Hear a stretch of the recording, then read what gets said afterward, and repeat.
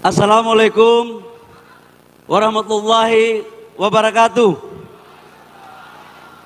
Shalom, Om Swastiastu, Namo Buddhaya, Salam Kebajikan.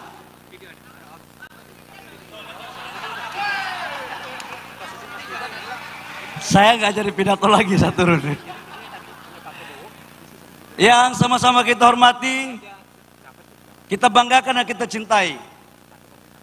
Calon wakil presiden yang insya Allah akan terpilih menjadi wakil presiden Republik Indonesia. Masa bakti 2024 2029 saudara kita Gibran Raka Bumi. Kita berikan aplaus kepada Mas Gibran. Mas Gibran, saya harus memberikan apresiasi atas kehadiran karena saya tahu jadwalnya padat dari Lampung kemudian lanjut ke Sumsel. Tadi kalau tidak salah ke Bengkulu ya. Bangka Belitung. Ketemu dengan sekian banyak pemuda-pemuda dari seluruh pelosok wilayah Nusantara. Dengan tidak mengenal lelah, Mas Gibran hadir bersama kita untuk menentukan satu tekad bahwa sudah saatnya pemuda memimpin bangsa Indonesia. Bang Ferry Yulianto yang saya hormati, gurunya Pak Anggawira. Jadi kalau Pak Angga Wira pidatonya kayak tadi karena gurunya Pak Ferry. Pak Angga Wira yang saya hormati sebagai ketua Repnas dan seluruh teman-teman TKN yang hadir ada Mas nggak senior kita Pak Budiman Sujatmiko. Siapa yang kenal Mas Budiman coba? Aktivis yang hebat, yang punya idealisme. Keluar partai pun berani untuk membela Pak Prabowo dan Mas Gibran. Oh dipecat, dipecat. Saya luruskan atas perintah Pak Budiman, Pak Budiman mengatakan bukan keluar. Apa bang? Dipecat. Hati-hati Pak, kita live ini, live, hati-hati, live. Ini hati-hati ini live ini, TV One sama Kompas nih, hati-hati teman-teman Repnas, ketua-ketua BPD Repnas dari provinsi sampai kabupaten yang berada di sini maupun tidak berada di sini yang saya hormati dan kita berikan aplaus untuk kita semua. Kalau saya bilang Repnas tadi jawabannya apa? Kemudian kalau Prabowo Gibran jawabannya apa? Kita uji. Kalau suaranya palsu itu berarti bukan orang Repnas yang Pak Angga datang. Ini kita uji Pak Cawapres. Sebelum jabatan dikasih kita uji juga ketuanya, solid nggak? Repnas! Di ujung sini belum kuat. Kita mau uji satu-satu. Repnas! Sebelah sini. Repnas! Sebelah sini. Repnas! Prabowo Gibran! Saya ulangi sekali lagi semua, Prabowo Gibran. Ya kalau sudah begini mau apa lagi? Mau apa lagi? Bagaimana Pak Budiman? Paten barang ini. Teman-teman semua, saya ingin mengingatkan kita pada sejarah bangsa ini. Kemarin adalah hari pahlawan. Di mana pahlawan pada saat itu adalah generasi-generasi yang usianya di bawah 40 tahun. Budi Utomo 1908. Dilanjutkan dengan Sumpah Pemuda. Seluruh anak-anak muda bangsa datang dari Aceh sampai Papua dengan usia bahkan ada yang 25 tahun. Kemerdekaan kita capai juga dengan pelopor dan gagasan anak-anak muda. Bung Karno dipaksa untuk memproklamasikan diri untuk memerdekakan bangsa. Itu juga dari desakan anak-anak muda. Pak Karno, Bung Karno presiden pertama kita. Menjadi presiden, menterinya banyak juga di bawah 40 tahun. Bahkan Perdana Menteri Indonesia Bung Saril itu usianya 36 tahun. Sejarah reformasi dilokomotif juga oleh anak-anak muda. Terus kenapa orang mempersoalkan kalau anak muda yang memimpin bangsa ini? Saya mau tanya itu. Kenapa? Mendirikan bangsa aja anak muda bisa. Apalagi mengisi cita-cita kemerdekaan itu. Jadi ada apa gerangan yang membuat pemikiran kita kok lebih mundur jauh sebelum bangsa ini ada? Saya bingung. Siapa sebenarnya yang menganut faham demokrasi yang paten itu? Di saat bersamaan kita bicara demokrasi, tapi di saat bersamaan juga kita menutup ruang demokrasi itu. Teman-teman muda semua yang saya sampaikan, jumlah pemilih usia 17 tahun sampai dengan 40 tahun itu jumlahnya 53 persen. Saya ulangi, jumlah pemilih dari 17 tahun sampai 40 tahun 53 persen. Artinya apa? Pemudalah yang akan menentukan siapa capres dan cawapres yang akan menang di pertarungan Pilpres 2024.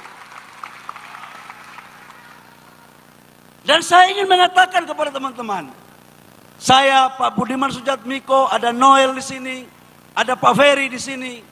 Kami ini hanya tidak lebih dari pengantar pada masuk tahap berikut dalam mempelopori dan ikut mengambil bagian dalam reformasi. Kami ini generasi sudah tua, usia sudah 50 tahun. Janganlah kita mengambil hati sulungan anak-anak muda yang di bawah usia 40 tahun itu. Biarkan mereka menentukan nasibnya. Dan mereka sudah dewasa. Dan saya punya keyakinan, capres dan cawapres yang menghargai positioning politik hanya berada pada pasangan Prabowo Gibran. Kita sekarang udah beda bro. Beda. Ini generasi Z sekarang kalau kita waktu aktivis retorika kita banyak, Mas Budiman. Baca buku banyak, itu kita anggap paling pandai. Sekarang generasi Z, dia tanya apa yang kamu telah kerjakan. Bukan apa yang sedang kamu baca. Mas Gibran sudah membuktikan itu dalam memimpin kota Solo. Sudah banyak karya-karyanya. Bahkan bila perlu dari semua capres dan cawapres, ini kan sebagian kepala daerah. Teman-teman muda uji aja apa yang telah mereka lakukan di wilayah kekuasaan mereka masing-masing dan dibandingkan dengan kesuksesan Mas Gibran di kota Solo. Kan gampang menilainya. Tidak perlu banyak pidato yang aneh-aneh. Kita semua ini sudah pandai bos. Dalam konteks itu menurut saya teman-teman. Dalam pandangan saya saya ini kan pernah jadi aktivis. Ya dari miskin juga. Sepatu miring kita ini. Pernah ditangkap juga. gitu. Kemudian jadi pengusaha. Pengusaha kita UMKM juga saya. Saya pernah jadi UMKM. Kemudian baru sedikit naik kelas lah. Jadi pengusaha yang baik. Baru masuk anggota kabinet. Yang tahu kelakuan pengusaha hanyalah orang yang pernah menjadi pengusaha. Dan dari semua capres dan cawapres yang ada, yang jadi pengusaha cuma Mas Gibran. Terus kenapa kita harus terjebak untuk memilih yang lain? Tidak mungkin teman-teman. Jangan pernah bermimpi untuk apa yang kita pikirkan dan kita perjuangkan dalam membangun dunia usaha yang baik diberikan amanah kepada orang yang gak pernah menjalankan dunia usaha itu. Setuju kan tidak? Dan saya punya keyakinan Pak Prabowo adalah jenderal, politisi, pengusaha juga. Dan Mas Gibran sebelum jadi wali kota adalah pengusaha dan UMKM juga. Jadi di mana lagi yang salah ini barang? Nggak ada. Setuju nggak? Kalau yang lain itu baru bicara konsep, nanti akan kita buat begini, nanti akan kita melakukan begini, terakhir kita mati sampai nanti akan belum terwujud semuanya. Nggak bisa lagi. Setuju? Gibran, Prabowo Gibran, kurang solid. Prabowo Gibran, teman-teman semua. Dalam kesempatan yang berbahagia ini, izinkan saya untuk mengajak teman-teman muda. Baik dari pusat kota ibu kota negara di Jakarta, maupun pusat-pusat kota provinsi, kabupaten, kecamatan, desa.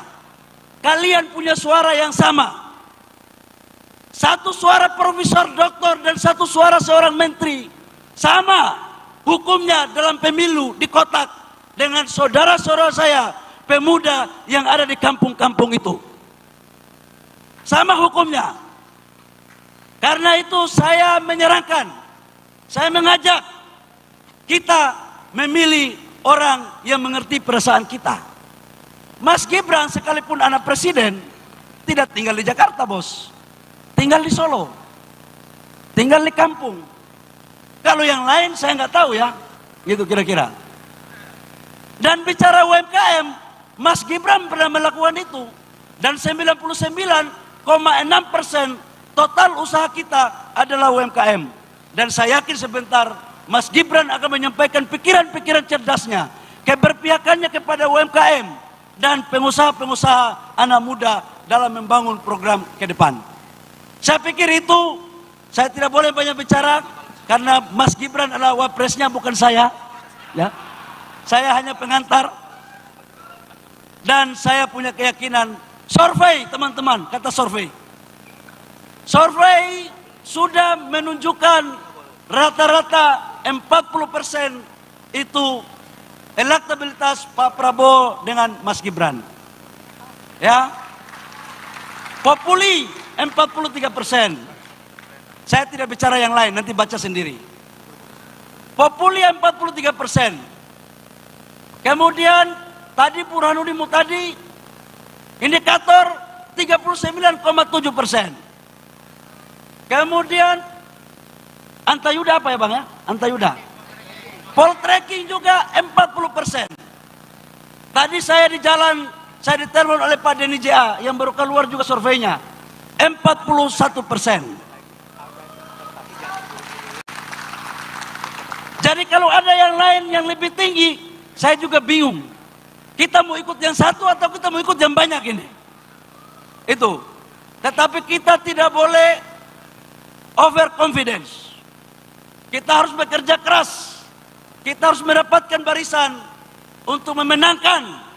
Dan insya Allah, kalau memang Allah menghendaki, memudahkan semuanya agar pasangan Prabowo Gibran terpilih untuk menjadi presiden dan wakil presiden pada periode 2024 2029. Hanya itu yang perlu saya sampaikan. Kita memberikan doa dan dukungan kepada seluruh teman-teman anak-anak muda yang ada di wilayah Nusantara. Demikian, terima kasih. Saya mengakhiri dengan yel-yel harus kompak. Prabowo Gibran. Menang, menang, menang. Sekali lagi Prabowo Gibran saya cukup dua kali menyampaikan itu. Mudah-mudahan kita doakan nomornya juga berada pada nomor di tengah. Hati-hati saya nih kalau pidato waktu satu tahun lalu di HIPMI saya sempat guyon. Saya sempat guyon bahwa hati-hati ada pemimpin baru muda yang dari Solo yaitu dari Mas Wali, Mas Gibran. Eh barang itu ternyata betul. Jadi barang itu, jadi wakil presiden. Ah, ini milik saya sih biasanya ada juga. Ini barang, insya Allah jadi sah ini barang. Jangan terlalu banyak kompor. Terima kasih. Kurang lebihnya mohon maaf. Wabillahi taufiq wal hidayah. Wassalamualaikum warahmatullahi wabarakatuh. Shalom. Om Santi Santi Om. Namo Buddhaya. Salam kebajikan. Prabowo Gibran.